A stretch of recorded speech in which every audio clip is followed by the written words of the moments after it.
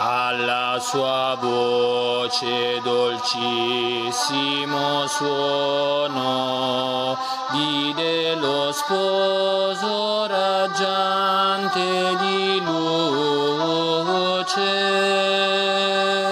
che le rivolse parole di vita per camminare ancora con lui.